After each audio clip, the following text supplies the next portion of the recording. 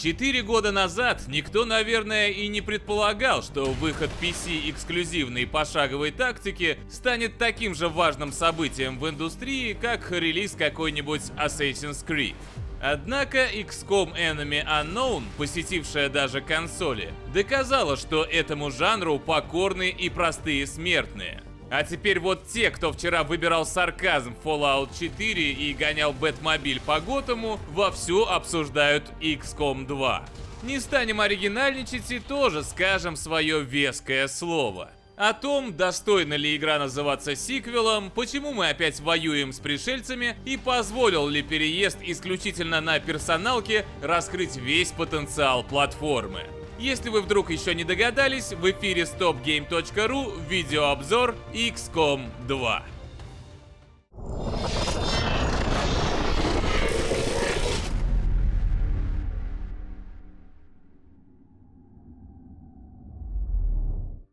Разработчики из Firaxis Games пренебрегли подвигом спасителей Земли из Enemy Unknown. У нас снова все очень плохо. Инопланетные захватчики победили, отовсюду льется пропаганда, люди пропадают без вести. В общем, полный тоталитаризм. После здорово поставленного обучения мы обнаруживаем себя на борту Мстителя, корабля, который станет новой базой для пока еще небольшой, но перспективной организации XCOM. Тут все знакомо, даром что бункер сменила летающая махина. Ученые из исследовательского отдела помогают наверстать упущенное в неравной гонке вооружений. На основе научных открытий инженеры конструируют пушки, броню и гаджеты. Расчищая завалы в недрах Мстителя, мы строим новые отсеки. Партизанскую школу, в которой покупаем улучшения для нашего отряда и тренируем новобранцев. Зону испытаний, где разрабатываем технологии и так далее. Я бы сказал, что дьявол в деталях, но в данном случае изменения скорее косметические. Да, теперь пользователь должен лично назначать инженеров на строительство объектов или в ту же зону испытаний, и это делает управление Мстителем более занимательным. Поначалу работников не хватает, так что выбирайте, либо возводим пси-лабораторию, либо быстрее тестируем экзокостюм. Но все-таки это старая добрая Enemy Unknown, если давно ее не запускали, подметить отличия будет нелегко. Многие надеялись, что на глобальной карте подпольная борьба будет существенно отличаться от полномасштабного противостояния из прошлой игры. Здесь все и вправду несколько глубже, чем в оригинале, хотя ветераны опять же почувствуют себя как дома. Нынче мы не безыдейно проматываем время, сканируя Землю, а выбираем, на что именно потратить драгоценные дни. На базе можно нанять новых сотрудников и купить бонус, например, ускоренное лечение солдат, но периодически на карте вспыхивают и другие точки, доступные для исследования. Даже для того, чтобы получить ежемесячные поставки ресурсов, сперва нужно отправиться на место и подождать, когда их соберут. Мы то и дело решаем, что важнее – подлатать своих подопечных перед опасной операцией или понадеяться на легкую победу и полететь за какими-нибудь инопланетными сплавами. Но сначала необходимо установить контакт с ячейками сопротивления. Тут пригодится новая валюта – разведданные. Их мы получаем, изучая соответствующие сигналы на карте и расшифровывая устройства пришельцев. Чем регион дальше, тем дороже обойдется связь с ним. Чтобы сэкономить, не жалейте денег, точнее теперь это материалы, но суть та же, и утыкайте планету ретрансляторами. Транжирить разведданные не стоит, ведь именно их просят на черном рынке в обмен на модули для оружия и иные припасы. Ну а когда вы освоитесь, наладите контакты с революционерами, все окончательно вернется в привычное русло. Даже мозолящий глаза счетчик проекта «Аватар» тот же уровень паники из предыдущей части, только в профиль. Впрочем, пускай вас не смущает относительно скромный список изменений, оторваться от XCOM 2 все равно чертовски сложно. Enemy Unknown уже прекрасно работала, и сейчас скучать тоже некогда. Пока сканируешь область, на корабле заканчивается исследование, а скоро, когда инженеры избавятся от завалов на нижних этажах, надо будет пристроить их куда-нибудь и готовиться к бою. Пожалуй, больше всего новшеств удастся наскрести на полях пошаговых сражений и в их окрестностях. Под нашим чутким руководством XCOMовцы все так же рассыпаются по уровню и совершают несколько действий, обычно одно-два, после чего настает черед противника. Но, скажем, теперь многие задания мы начинаем в режиме маскировки. Пока оккупанты не заметили незваных гостей, есть шанс занять выгодные позиции, перевести подопечных в режим наблюдения и устроить засаду.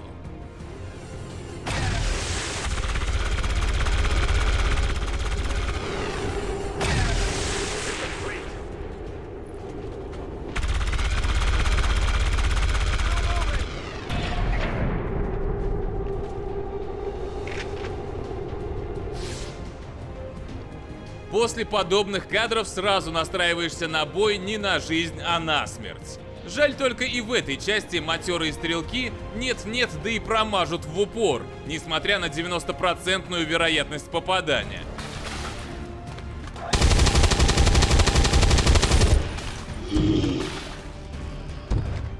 Раздражает так, что словами не передать. Зато миссии тут интереснее, чем в XCOM 2012 года. Мы по-прежнему сопровождаем випов, спасаем гражданских и вообще докучаем злодеям, однако локации стали разнообразнее и красивее, а каждый тип операции обзавелся новыми условиями. Например, порой нам позволяют выбрать зону эвакуации. Пригодится, когда нужно будет срочно вытащить раненого. Некоторые мирные жители оказываются безликими, огромными монстрами, которых лучше не подпускать близко.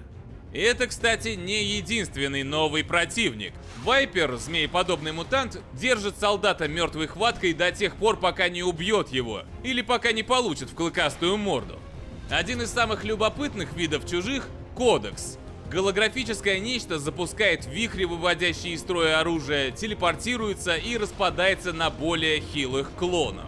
Тварь не очень опасная, но вместе с группой поддержки может наделать дел. Главный же недруг — таймер. Ни одно экспертное копье на форумах уже было сломано в обсуждении этого элемента. Дело в том, что в XCOM 2 в большинстве случаев авторы подгоняют нас, ограничивая число ходов. Если исчерпать лимит, задание будет провалено.